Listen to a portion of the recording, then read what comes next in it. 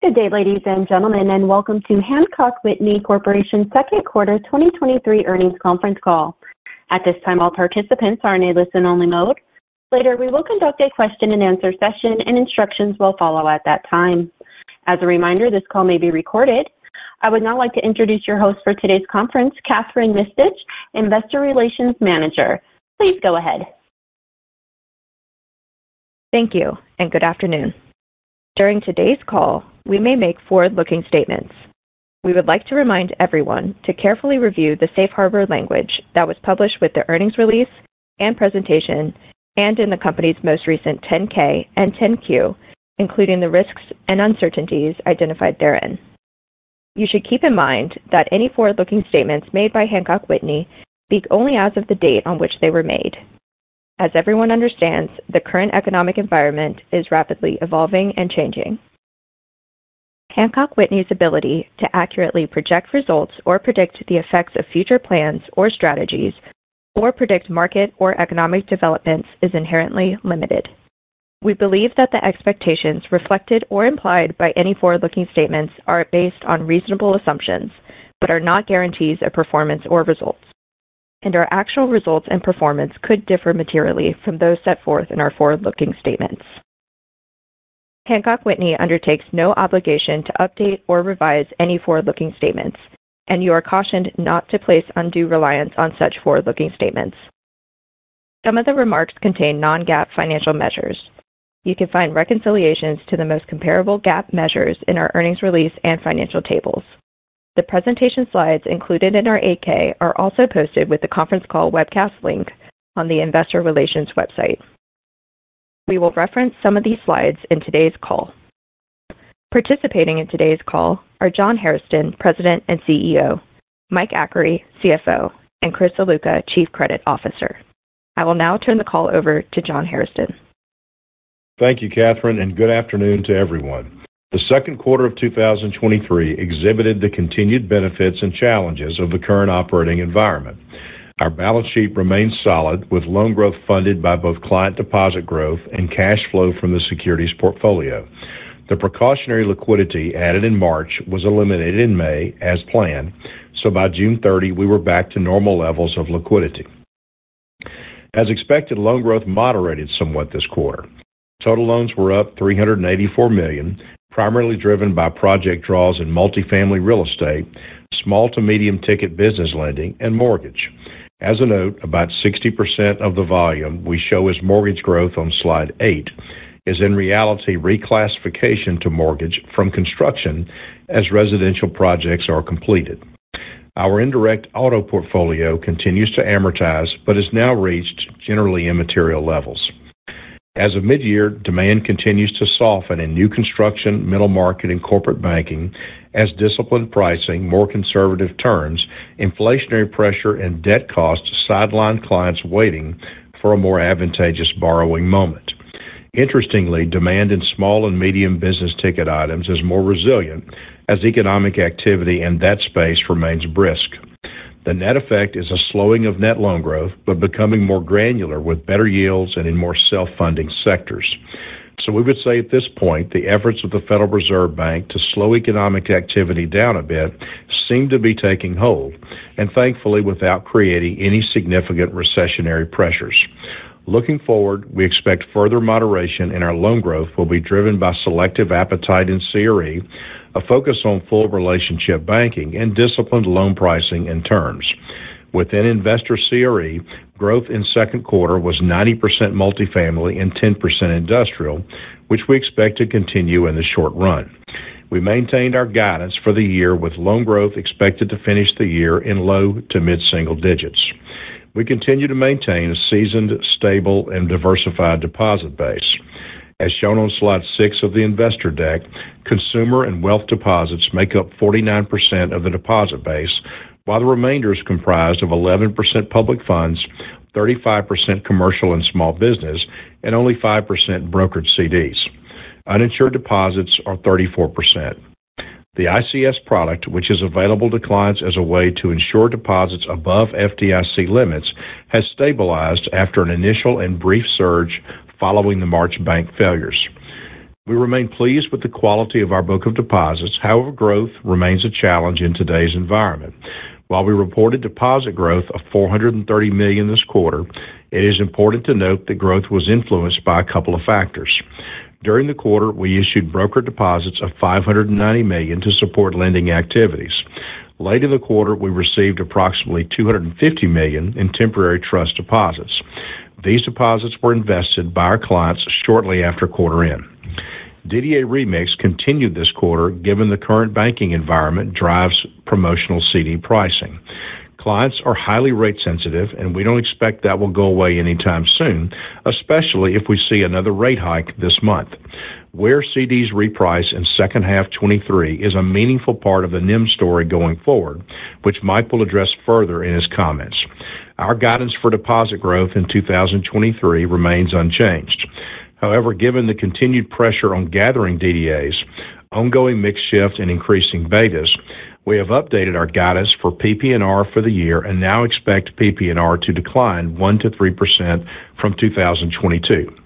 Earnings and a lower level of tangible assets contributed to improving capital levels. TCE was up 34 basis points to 7.5%, and Tier 1 at 11.83% improved 23 basis points.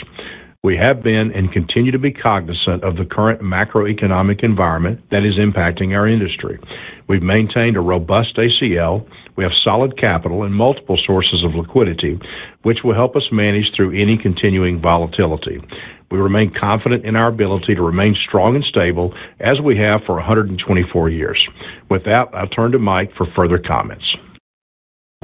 Thanks, John. Good afternoon, everyone. Second quarter's net income totaled 118 million, or $1.35 per share. Those levels were down $8.7 million and $0.10 per share, respectively. PPNR was 158 million for the quarter and was also down 9.2 million. The challenges we face as an industry from rates and deposits, both mix and betas, has led to higher than expected NIM compression, in turn, driving linked quarter decreases in net interest income and earnings. Our cost of deposits increased again in the second quarter to 1.4% from 0.91% last quarter. For the month of June, our cost of deposits was 1.57%. That drove our total deposit beta for the quarter to 104%, or 28% cycle to date, or 25% excluding the recently issued brokered CDs. We expect that our total deposit beta for the cycle could now approach 35%, assuming the Fed raises rates to 5.5% in July and holds through year-end. The reality of higher rates for longer and the growing dependence on CDs as a non-interest-bearing deposit remix destination is driving this reality. Reminder that our total deposit beta in the last uprate cycle was 29%.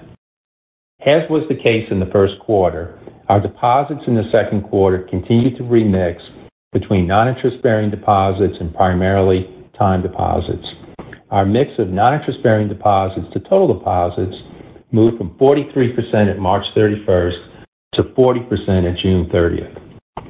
Given the pressure on deposit cost and assumed continued remix of non-interest-bearing deposits, we do see additional NIM compression in the second half of 2023, although likely at a slower pace than what we experienced in the first half of the year. Again, assuming Fed funds tops out at 5.5%, we could see NIM compression of about 5-8 basis points in each of the next two quarters. Included in our assumptions is the expectation that our non-interest-bearing deposit mix could fall to just below pre-pandemic levels by the end of the year, or about 35%. Slides 14 and 15 in the deck provide additional details related to our NIM and interest rate sensitivity. Turning to credit, criticized levels were relatively stable and have been for several quarters. We did have an uptick in non-accrual loans as those levels have begun to normalize. Net charge-offs were down 3.4 million from last quarter and came in at 6 basis points of average loans. During the quarter, we built reserves by 4.2 million, which resulted in a solid ACL of 1.45% to loans at June 30th. Fee income improved this quarter, driven by increases in service charges on commercial accounts and specialty income. Expenses were up slightly linked quarter, driven by higher insurance and regulatory costs, but also higher technology-related costs. Otherwise, expenses were well controlled. We have continued to reinvest back into the company through additional revenue-generating staff, technology improvements, and automation, all leading to increases in personnel and technology-related expense. We intend to continue these reinvestments to support adding additional value in the future, but of course, are paying attention to the impact of inflation on expenses during a challenging top-line revenue environment. We are pleased to see stability in other expense categories, and as noted previously, we will have to manage through items outside of our control, such as retirement costs, benefits, insurance costs, as well as normal FDIC assessment increases. All of this leads to a few updates to guidance called out on slide 20, reflecting both second quarter activity as well as changes in the operating environment. John mentioned the change to the PPNR guidance, but we have also updated guidance on fees, expenses, and the efficiency ratio. One important note, the PPNR and expense guidance does not include any impact from the expected FDIC special assessment related to the March 2023 bank failures. I will now turn the call back to John. Thanks, Mike. And moderator, if we could, let's open the call for questions. Thank you, sir. Ladies and gentlemen, if you have a question, please press star one on your telephone keypad. Once again, that is star one to ask a question. We'll go first to Michael Rose, Raymond James. Hey, good afternoon, everyone. Thanks for uh, taking my questions.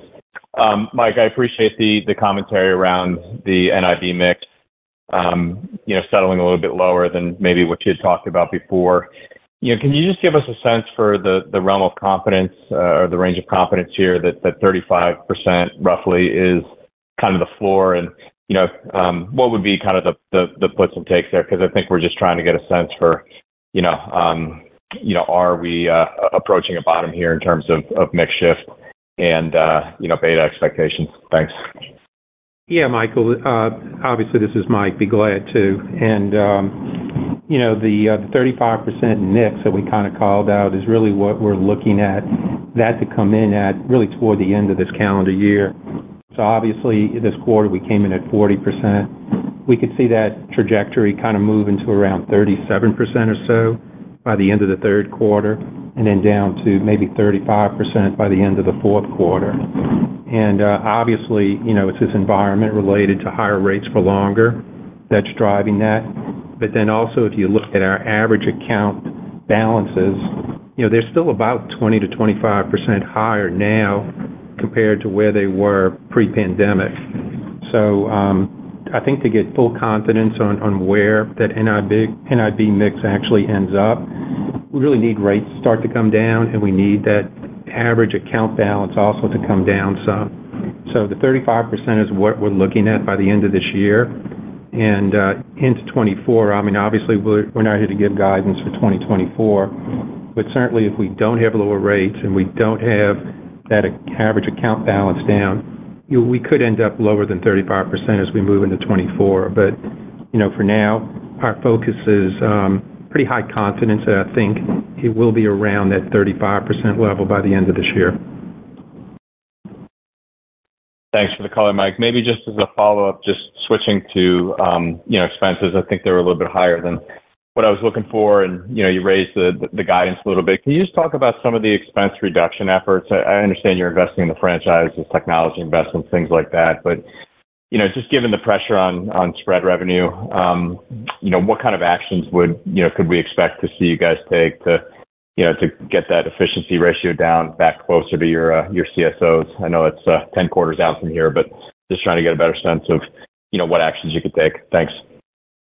Yeah, I mean, obviously, we we did a lot of hard work throughout our company to get our efficiency ratio down to the levels that we reported the last couple of quarters. So, um, you know, there's certainly no joy in being above or slightly above 55% like we are right now.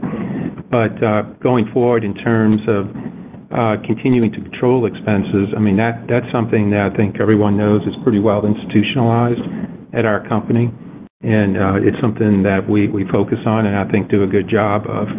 The things that are kind of driving the uh, the change in expense guidance compared to last quarter really have to do with visibility that we have in the second half of the year to certain expense categories. We called out higher pension, higher regulatory costs, and then higher insurance costs related to the P&C insurance on our facilities.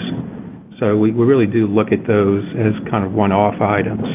And I think if you look at the change guidance, so the 7.5%-8.5%, if you back out all retirement costs and all regulatory costs, kind of that core expense run rate is more in the neighborhood of 5%-6%. But uh, getting to your question directly, um, again, we'll continue to focus on expense reduction and expense control. We've talked in the past around standing up, you know, a very professional and very effective strategic procurement process. That process is becoming mature, and we certainly expect to uh, harvest expense savings, you know, through the full implementation of that program. Uh, you mentioned reinvesting back in the company. That's something we feel strongly about continuing to do. I mentioned that in the prepared comments. And John, I don't know if you wanted to add a little bit of color around your thoughts around- I'll be glad. I'll be glad to. I think, I mean, you answered a lot of the, uh, I think, of the question already. I won't take too much time. But but Michael, uh, and this is John, you know, we've invested a great deal of money in technology over a number of years, and the last two or three years, the bulk of that technology spend was about 75% toward uh, frontline effectiveness in terms of implementing Salesforce throughout the revenue-bearing part of the company, uh, a much more professional marketing and lead generating and lead follow-up organization. And all those things happen, and we've done, I think, done some some good work and had some good news coming back. And you don't have to look any further than the the uh, continued growth in both deposits and loans in the small and mid-sized ticket area of business lending to see that benefit. At the same time, as we're rolling out all that technology, I mean, the turnover rate in our industry has been horrendous, and we've not been immune to that, particularly in the hourly levels. So some of the productivity improvement I expected by this time to get due to some of that automation really hasn't fully been realized yet, and I'd like to see that get completed. So between that work, the strategic procurement area that Mike mentioned, um, and I think some thoughtful consideration of how long we should expect to take in this environment, given the spread differences for the revenue-bearing individuals we've hired to uh, get up to their full profitability, um, I think that's probably where we focus for the next couple of quarters. So, uh, I think Mike's word choice was good. There's no joy being above 55. Um, about half of that driver were things that we really couldn't control. Uh, but, you know, what goes up will come down, and the assessments will decrease. The insurance costs will eventually decrease, both on property and in FDIC. Um, and I think I'd like to see a little bit better efficiency uh, in our back of the house through some of the automation over the next couple of quarters. So we've got some work to do there, uh, if we're going to continue the reinvestment pace we've been on. But I appreciate the question. Hey, everyone. Thanks for taking my questions. Appreciate the color. You bet, Michael. Thank you. The next question comes from Casey Haire, Jefferies. Yeah, thanks. Good afternoon, guys. Um, I guess a question on uh, capital. Um, you know, uh, you guys, uh, you know, approaching 12% on CET1. Um, I think I know the answer, but just want to just curious as to your appetite for buybacks. Yeah, Casey, this is Mike. So appreciate the question on capital. And, yeah, you're right. I mean, really, for the next couple of quarters, Uh, buybacks is not something that's a big priority for us. So I don't know that we'll be participating in that, uh, at least for the next couple of quarters. In this environment, um, you know, our stance really is more around uh, preserving and growing capital. And, you know, we're pleased to see those capital levels move on up. So we'll kind of continue that approach. Okay. And then what about potentially um, Uh, rejiggering the bond book, uh, given, you know, things are a lot much, a lot uh, calmer versus March and April? Um, is there any appetite to use some of the excess capital towards that? Yeah, I think there is, and that's a great question. And so that's something that you know, we've looked at through this environment and continue to look at. Not here today to announce that we're executing on anything per se, but I think it's a fair expectation to have that we would certainly look very seriously at doing something like that in the second half of this year. Okay, great. Thanks very much. You bet. Next up is Catherine Mealor, KBW. Thanks. Um, a question on the margin. It feels like from your margin guidance, we're going to be ending the year somewhere around Uh, 315-320, I think, depending on you know, where the deposit remix shakes out. And as you think about next year, um, which I know we're just trying to get this year done, but as we think about next year, as we're exiting the year around that kind of margin level, what how do you think about higher for longer and what type of, I don't know, kind of tailwinds you maybe will have on the loan portfolio or portfolio, or maybe what some defenses you may have if we stay kind of at that 550 Fed funds through next year? Thanks. Yeah, you bet, Catherine. I think to kind of start the uh, the uh, the narrative on that question is you know, we we talked just now about the potential restructuring of the bond portfolio. That could certainly, I think, be a nice lead-in to 2024. And And look, just depending on the rate environment and kind of where we are with our deposit remix, you know, that'll play a big role and a big part in how we think about our NIM for next year. Uh, it certainly appears that um, deposit costs you know, might be leveling out, and that's part of our uh, narrative and assumption for the second half of this year. And if that's the case and continues into next year, there's certainly the opportunity for CDs potentially to reprice a little bit lower next year. And then, obviously, if the operating environment is a big uh is a bit better, you know, the potential certainly exists for us to add loan growth next year. So so again, bit premature to talk about you know, strict guidance for 2024, Uh, but those are the things I think we kind of think about in that regard. John, anything you want to add? Yeah, yeah, Catherine, this is John. Uh, this this is this is obviously not easy to model, but just thinking about conceptually how the higher-for-longer environment uh, could affect our book. Um, we have about two, maybe three quarters, Uh, maybe two and a half quarters of growth out of sort of all things real estate. Um, you know, we have a pretty big C&D book and a really excellent team that's done great with terrific quality and good spreads for a long time. But that pipeline uh, is crimping a bit. And so the growth we see in C&D on slide eight is really more driven by draws on existing projects. So uh, as those projects are completed, Uh, a minority of that book will move into real estate, and a good bit of it will get sold off in the permanent finance markets.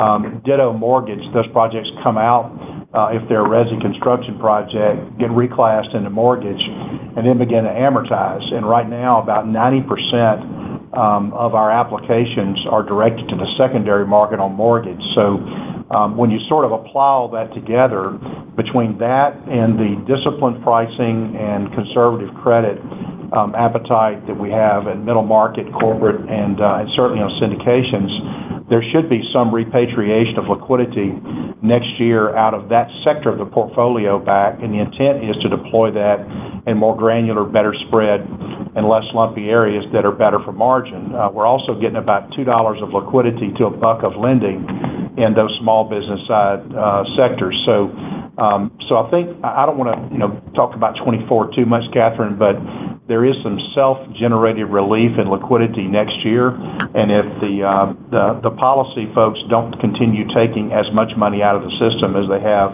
the last 12 months, and with bank rates uh, being more competitive versus treasuries, um, you know, those massive amounts of exit from the banking system uh, to federal instruments should begin to wane some. So how all that mixes together um, should, and if the Fed stops raising rates as uh, as we all hope they will here in the back half of the year, then we should see a little bit better picture in 24 for stability, um, both portfolio and spread and NIM, if that all makes sense. So too early for 2024 right now, but that's just the tone. That's very helpful. Very helpful. And then, John, you hinted that there was some CD repricing to be aware of in the back half of the year. Can you just remind us of what that looks like? Uh, Catherine, this is Mike. Back half of 2023? Yes. Yeah. So we have about $1.2 billion of CDs in maturing in the third quarter. Those are coming off at about 3.86. And then in the fourth quarter, we have about $900 million of CDs maturing, and those are coming off at right at about 4%. We also have about $500 million of the brokered CDs that we added back in March that'll be coming off in the month of December. Those are coming off at 5.45. So those are the CD maturities we have in the second half. And so, you know, and that that that story, I think I used the words NIM story uh, earlier, uh, Catherine, the, that if we, we were a little more hopeful that we would not see another rate increase, and I think the tone from the Fed as uh, uh, here lately sounds as if that's that's in the cards for July. Um, whether there's another one, you know, we don't know yet. But we had hoped that we would have a little bit more room to reprice those down. Um, the guidance presumes that we don't. So we're trying to play realistic ball in terms of the Fed does raise rates again, and perhaps even again, um, and tightening continues, then the competitiveness around us for CD rates may not relent until after the end of the year. And if that happens, our ability to reprice down from the levels Mike mentioned really is challenged. And so the change in guidance is really more uh, derivative of that tone, not because anything's not going well or anything like that. It's just simply the the where the competition does not appear to be getting any easier as we look at the next six months or so. Hope that's helpful. Got it. That makes sense. Yep, that makes perfect sense. Perfect sense. And then maybe one last one. Just, I know there was one commercial NPL that uh, increased this quarter. If you could just give us a little bit of color on that. Chris, you want to take that one? Yeah, sure. Uh, Catherine, it's Chris Ziluca. Um, yeah, it was uh, a credit that we've been tracking for a while, and uh, it kind of migrated from criticized to NPL, which is why you don't see the the criticized going up at all, really. Um, and frankly, it's just a customer in the um, kind of retail space. It's a C-store operator that um, probably just uh, overexpanded a little bit, so they're kind of going through uh, a little bit of a restructuring ourselves, and so therefore, we uh, needed to move it into the NPL category. Great. Great. Thank you. You bet. Thank you, Catherine. Your next question comes from Brett Rabatin, of Hovde Group. Hey, good afternoon. Uh, thanks for the questions. Um, wanted to first start on fee income and just the guidance, you know, the change there, linked quarter, if that was a function of um, less annuity fee growth than you maybe you were expecting, or if there were dynamics in the back half of the year that resulted in that change? Yeah, great question. This is John. A great question, and you're pretty right on top of it. Uh, the guidance change is really uh, sort of like in the deposit conversation we just had uh, with the prior question. Um, when we look at the effect of higher rates for longer, there are two areas of the fee income buckets that should see less activity. So it's not our lack of Uh, appreciation for the sector, it's just the reality that we will likely sell less annuities the back half of the year um, than we sold in the front. We had a terrific year uh, uh, up until now. But when we look at less traffic with the pie of opportunity shrinking a bit in both annuities and in non-amortized loan fees, if we're if we're doing less lumpy loans, then you get less fees that you bring to the bottom line that same quarter. And so with a little bit more anemic outlook for that traffic for the back half of the year, uh, we resized the guidance down a bit to accommodate it. So nothing going particularly wrong, no threat, um, just trying to be uh, thoughtful uh, and ensure that we're being as transparent as we can about the chatter we're getting back when we look at competitive assessment and the outlook for opportunities. So if the opportunities were the same as they had been, we wouldn't have changed the guidance. So it really is just an issue of the pie getting smaller. Okay, that's helpful. Um, and then just wanted to make sure I understood, you know, the thought process around the competitive environment. You know, I think last quarter, you know, banks kind of felt like things were settling down, you know, into earnings season in April after the crazy March, and and I feel like everyone kind of realized a ratcheting higher in competitiveness in May and June, and just was curious if if it felt like it was still ratcheting higher in terms of where what you're seeing promotional activity in your markets, or if it maybe it adds a little bit since the maybe the heavy uh, period of late May. Is your question specific to deposit pricing, Brett? Just to make sure we hear you right. Yes. Yes. Just, yeah, just the deposit pricing and and what you're seeing in your markets in terms of your competitors' pricing.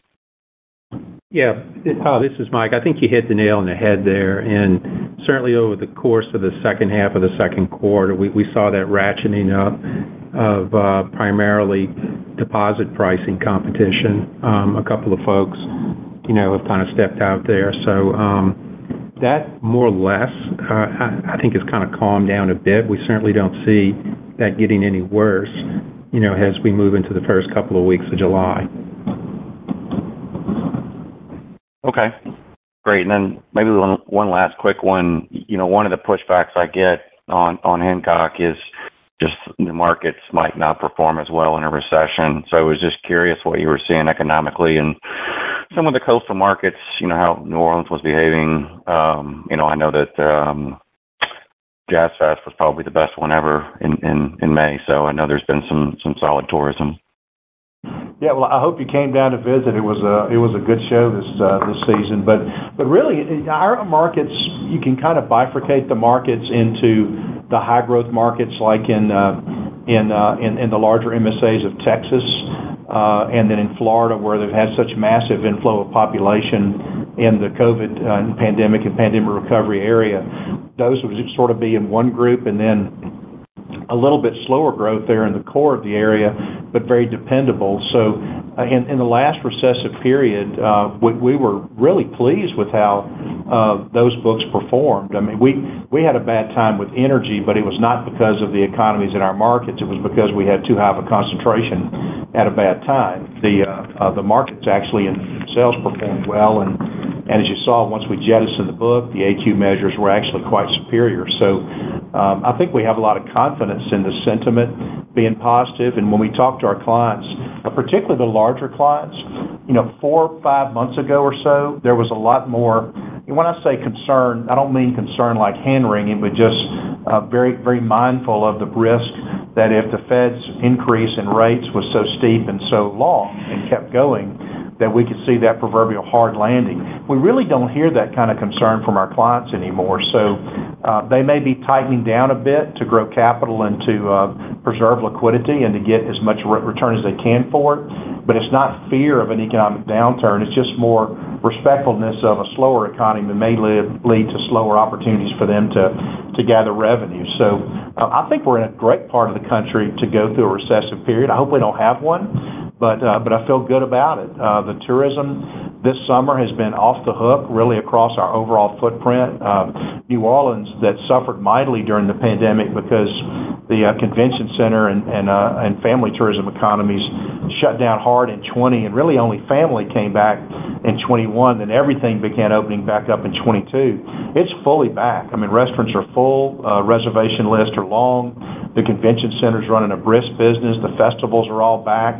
Um, the only thing that's not, I guess, back to its original form is the number of attendees per convention or trade show is still 15%-20% off where it was. Um, and I don't think the cause of that is any worry about the city of New Orleans. I think it's just more that's a tendency we're seeing throughout the country. And uh, so I hope that kind of gives you the tone of a lot of confidence in our markets. We actually feel pretty good about. That's great. That's very helpful. Thanks for all the color. You bet. Thank you. Kevin Fitzsimmons from D.A. Davidson is up next. Hey. Good good afternoon, guys. How are you? Hey, Kevin.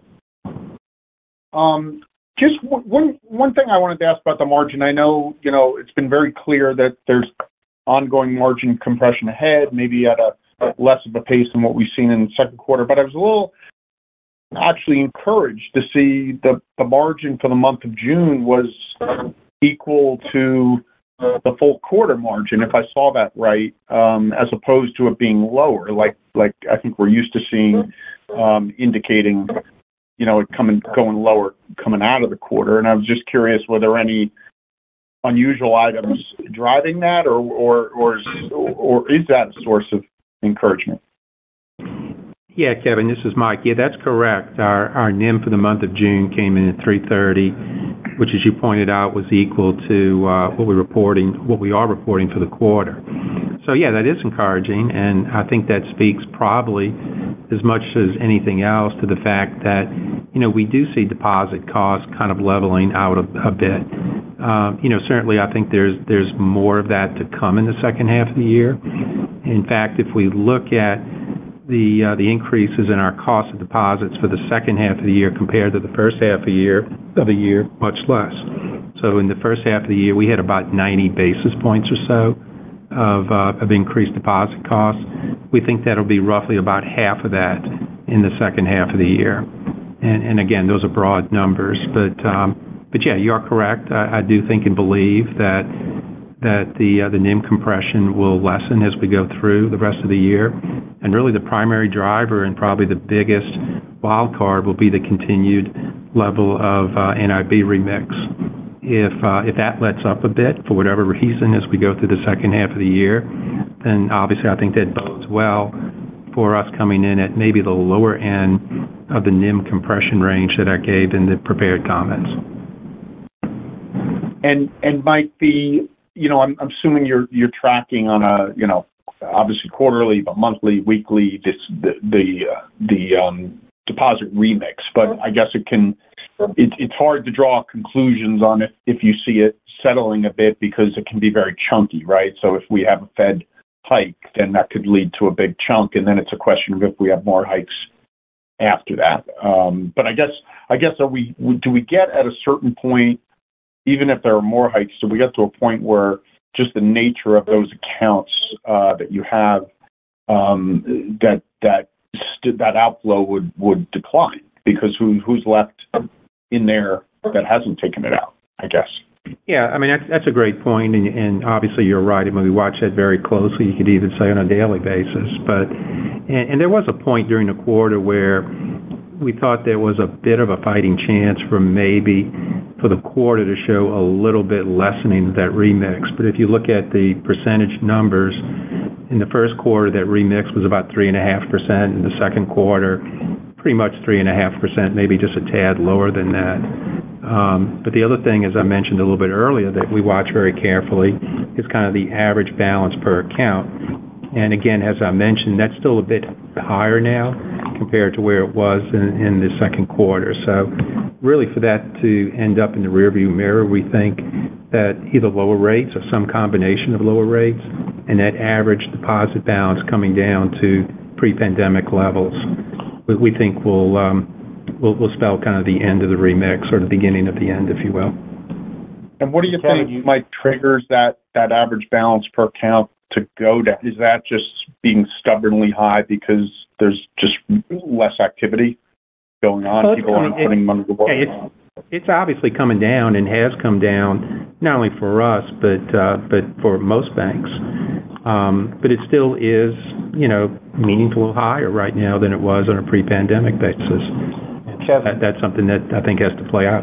Yeah. I'm sorry. I stepped in. No, go ahead. Uh, Kevin, this is John. I I can't remember which quarter it was. It may have been as long as a year ago. We had said that uh, when we when we apply both the type of account, the gap to the pre-pandemic average balance, and the spending rate, uh, both for things people want and then later what they need, Uh, it trended to be about literally June of 2024 when we would reach the pre-pandemic average balance uh, uh, in a pretty complex piece of algebra. And that's, that's really still where it seems to be heading. Now, at that time, uh, we didn't see a five and a quarter overnight money rate materializing at this the pace that it did. And so one would think that we would be getting a little closer to that average balance if it's if it's really the new bottom uh, sooner than June, simply because we're already seeing, as we monitor traffic and tone from clients, uh, the spending habits of consumers has certainly changed to uh, uh, you know, they're doing more trips than buying bigger houses right now. So the sources and uses of cash have changed a bit in 2023 versus 2022, which should suggest we should be getting closer to the average balances by the end of the year. But I mean, picking those behavioral trends and trying to blend them into a forecast is is not you know, easy for us to do. And so we truly simply uh, extrapolated the behavior we're seeing right now, uh, tried our best to migrate what we thought that book would look like by the end of the year and guide it to it. And we we take no pleasure in guiding to anything that's not positive, but the environment we're in and the, and the competitors that we have who are loaned up way too close to 100%, Um, we we want liquidity. They have to have liquidity, and they're pricing accordingly, and and that's driving some of our costs up a little faster than we would like to have seen them. So our thought of normalization may be a little bit further, uh, maybe over you know, past year-end and into 24 versus uh, the back half of this year like we had hoped a quarter or so ago. That may be more detailed. That's great, John. And one last one for me. You mentioned earlier how the level of borrowings has come down. That was an abundance of caution post the bank failures, and now you've kind of uh, taken that off. Should we assume that level of borrowings at second quarter end remains fairly stable, or could there be more moves in that line item? Yeah, Kevin, this is Mike again. I think we're more or less back to managing the balance sheet in a normal fashion. So uh, the level of liquidity we uh, kept on the balance sheet at June 30th may be a bit higher than what we would normally do, but not much more than $200 million or so. so. Maybe that comes down a little bit more, but I don't know that that's uh, a significant number. Okay, great. Thanks very much. You bet. Thank you for the questions.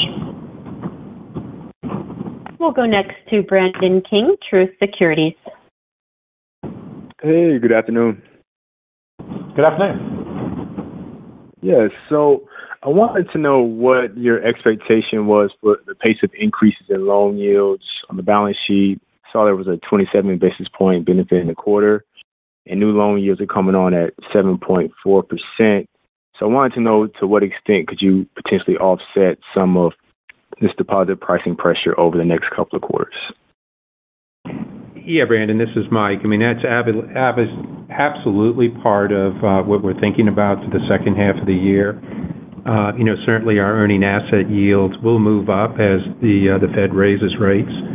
Um, we have a very focused effort also on improving our loan yields, both on new-to-bank business as well as renewals. So that's something that's a big, big focus on what we're trying to accomplish, and I think is part of our assumptions as we think about maybe less NIM compression in the second half of the year versus the first half of the year. Related to the bond portfolio, aside from you know, a potential restructuring, no change in how we think about uh, reinvesting back in the bond portfolio right now. We'll continue at least for the next couple of quarters and maybe beyond with letting those cash flows and maturities help fund loan growth and other needs on the balance sheet. I think that's how we think about those things. John, anything you want to add on the loan side? No, the only thing I'd add, Mike, I think you did a great job on the answer. Brandon, the, the uh, I mean, it's a very astute question and point. Um and while I don't want to be tempted to get too far into 2024, you know, about about half our book is fixed. Uh, and a lot of that fixed book is going to begin, are going to continue renewing into 2024. Uh, at the point that the variable rate business planes off a bit from the indexed increases as uh, as the Fed uh, makes you know, 25 basis point increases, we'll continue to see the fixed rate book expanding. And, what hasn't happened yet in our industry, at least in our region, um, that I believe will start occurring is you know, banks have settled into having a certain amount of uh, NIBs relative to revolving lines, especially on the commercial side. And if those balances continue to come down because people are prepared to pay the fee in the account uh, instead uh, of get those fees waived, then that does bring up the notion that we may see Uh, the indexed prime on the revolvers begin to reprice up a little bit beyond uh, where they are today. I think just as banks settle, and when that happens, uh, we probably all move at about the same pace. So I think we may see better spreads against prime um, if prime stabilizes, and we may see we will see the fixed rate money actually get repriced higher as we go into the next year. So if deposits do stabilize toward the end of the year, Uh, and the competition from T-bills uh, has waned from where the ferocious competition has been the past few quarters, then that does indicate that, you know, the NIM story for 2024, 2025 may be a lot brighter than the compression we took in uh, 2023. But I don't want to throw any numbers around at this point in time. We'll need to wait till we get a little closer to the end of the year to talk about it, but that's kind of our outlook. Got it. Got it. Um, understood. And then I noticed C&I line utilization ticked a bit lower in the quarter, so just wanted to get some more context behind that, and if you're still seeing some of your customers kind of delever themselves uh, in this sort of economic environment and what they're anticipating. Sure. I'll I'll uh, I'll tackle that. This is John again. And look, I I love this business, and I'll talk too much about stuff like that because I really enjoy talking about it, so I hope I don't take up too much time or give you more detail. But ultimately, you know, there's three different classes of loans inside that revolver. Um, You've got. we we have we're a real consumer bank, so we have a robust home equity line uh, business that uh, that is revolving. And those utilizations have been ticking downward really ever since uh, prime got to about 100 basis points below where it is right now. So, um, uh, volume of new applications has come down, I think, as people decide not to to borrow uh, and put their home up to do it for the time being. And the utilization actually has come down some as people traded some of those excess balances and paid down the debt because they didn't like the ticket price on the revolver. The other area of utilization that's come down is just normal commercial utilization came down as rates went up. Uh, our commercial clients had a lot of liquidity. We have a great book of clients, and they used some of that liquidity to pay down the line and just opted to pay the fee on their analysis accounts. So you had those two of the three total sectors and uh, line utilization coming down. The contra to that was on the construction side, Um, where as projects move through the pipeline, they start off on the first day at zero, and then they move up, you know, say, 85 or 90% as they get to the completion of the project, and then it either flips out of the bank to perm or into real estate for a period of time until it leases up and the project is sold. So if the pipeline is a little bit crimped on the way in, as new projects uh, volume comes down, then there's a natural utilization increase that occurs as the average project gets closer to completion. So if you follow me with all those three, right now, the downward pressure from consumer revolvers and commercial revolving lines of credit are offsetting the increase that we're getting on the construction utilization side. And so that will continue for a couple of quarters until it eventually normalizes. Is that does that is that where you were headed with your question? Yeah. Yeah, yeah, yeah, that makes sense. Um, yeah, that makes sense. Um, okay. Thank you so much for taking my questions. You bet. You bet. Thank you. Your next question is Stephen Scouten, Piper Sandler. Hey, good afternoon. Appreciate the time here. Um, I wanted to follow up, uh, just going back to that CD conversation. I know you said, uh, you know, there might not be as much room to reprice those lower as you thought at one point in time. Can you give us a feel for where uh, you saw new CDs um, come on out at a percentage basis this quarter? Yeah, Stephen, this is Mike. What I can share with you that probably is equally as useful is kind of where our current rates are. So, you know, that gives you a little bit of insight into where we think those maturities may land. So, uh, the highest rate we have right now is a 5.25 at eight months. We also have a 5% at three months, but then we also have a little bit longer maturities, nine and 11 months, at 4.5 and 4%, respectively.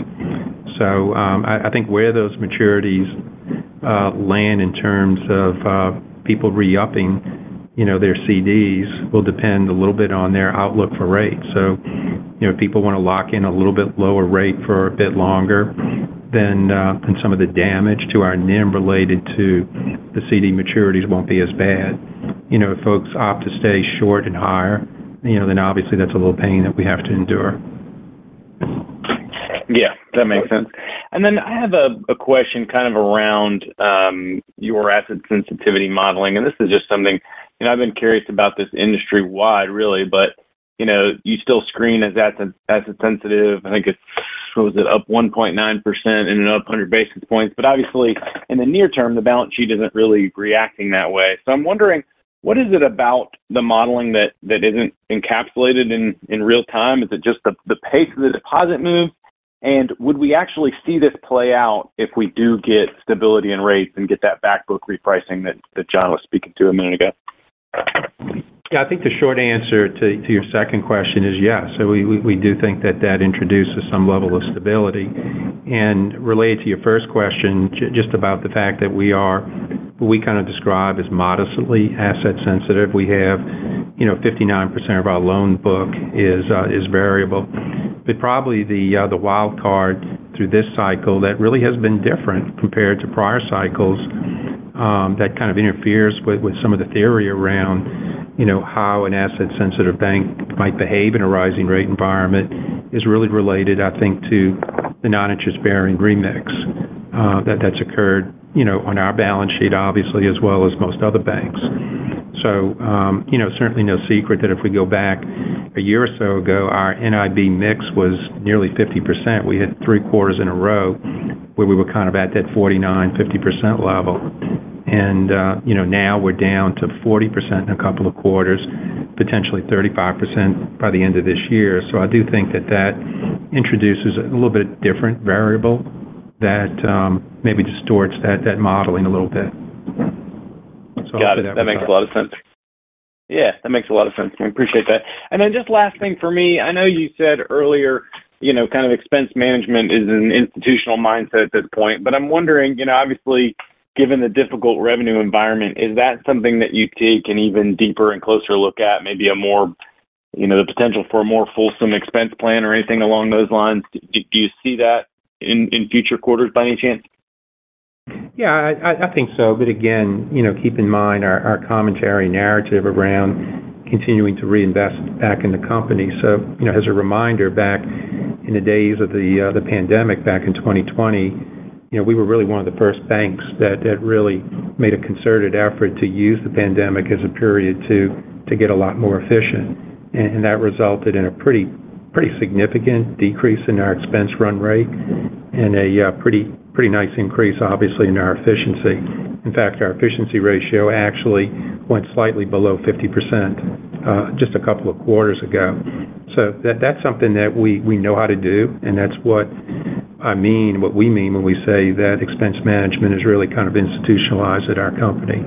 But again, in this environment, we also see the opportunity to reinvest, and so that's important to us as well.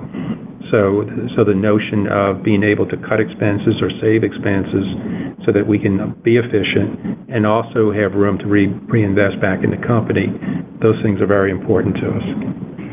John, anything you want? Yeah, not, to belabor uh, the the question any further, but uh, but Stephen, there, you know, we gave that target of 55% uh, out there, and while it's in the CSOs, uh, well, re- really not not not pleased to see it go above 55 at all, even though we haven't gotten to the CSO period. But uh, uh, I mean, the drivers for that are are uh, largely deposit pricing, the compression on them, um, and FDIC insurance expenses are just a lot more expensive in 23 than they were in 22. And we didn't you know, didn't expect that, um, you know, a year ago. But here we are. So all those things are are real. They're true, and they don't matter. We still need to get back below 55%. So the I think our reality is uh, uh, uh, not not to make it overly dramatic, but we kind of go up a DEFCON level, so to speak, when we get above 55, and so there will be curtailments in discretionary expenses that will be implemented uh, as we move along, and and if the benefit of continuing in our reinvestment pace outweighs some of the pain of doing some of the more across the board uh, uh, expense curtailments, then then we'll we're not bashful about making that call. Uh, uh, our goal, though, and is you know we don't think about everything in quarters; we think of it in years, and it's very important that our company is in super and very strong shape to execute and, be, and play very offensive ball when the economy turns and we start seeing uh, a, better opportunity to grow. And so, um, you know, I don't want to curtail uh, investments to the degree that we will wish we hadn't, you know, a year or two down the road. So we're still adding bankers, we're still adding technology, uh, but uh, the pace with which we're doing it is going to need and require some belt tightening elsewhere. So not ready to talk about those techniques and all that now, but it's all the things that you would imagine based on our, our history of being pretty good at managing expenses. Yeah, that's extremely helpful. Thank you all for the time and, and color. You bet. Thanks for the questions. We'll go next to Christopher Marinac, Janney Montgomery Scott. Thanks for hosting the call today. Um, a quick question for Chris on the criticized assets. Uh, I see that they were stable, obviously, this quarter, but just curious kind of what's out there that would cause that trend to either go down in a good way or perhaps see some inflection uh, with uh, deterioration in future periods. Yeah, good question, Christopher. Um, you know, we're not really seeing any specific sector-related, know, confluence of events. Um, obviously, we're operating at a historically low level on the criticized loan level. So, you know, there's probably, you know, little chance of substantial improvement from where we are. But, you know, our goal, obviously, is to maintain as high asset quality as we can. Um, you know, I think some of the some of the sectors that are always going to have pressure eh, are the ones that have had to absorb, uh, you know, the wage increases and some of the higher operating costs associated um, with some of the inflation that uh, is starting to cool off, but obviously has not come down. So they're having to kind of manage through that, as well as uh, companies that, um, you know, are maybe having some continued staffing challenges just because of the uh, relatively low uh, unemployment rate. So, you know, I think those are the sectors that we keep an eye on. Um, we're not necessarily seeing any significant or any sort of connected issues, um, you know, in any one sector, but we pay particular attention to those that are getting, you know, squeezed from a margin perspective. And also, Uh, the higher interest rates, you know, if they have fixed-rate debt, you know, they're going to have to obviously absorb when they renew um, the higher interest rate for that uh, for that debt at renewal. So we're looking at that closely as well. Are those drivers for potential changes to the reserve, you know, beyond where you're positioned now? Um, I mean, not really. I mean, it could could be, but generally speaking, um, you know, we are, you know, factoring that into the decisions that we take. Um, you know, we think that the reserve is uh, adequate for um, the risks that we have in the portfolio. So, um, you know, our objective is to kind of, you know, match the reserve to any sort of direction of risk uh, in the portfolio, either uh, as it increases or decreases. So so I would say, generally speaking, no.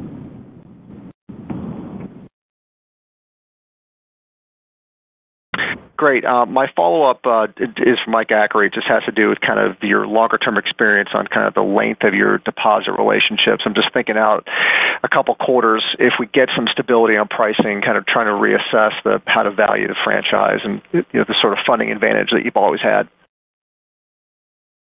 Yeah. So, uh, Chris, I assume you're talking about our NIB mix and the long-term stability related to that.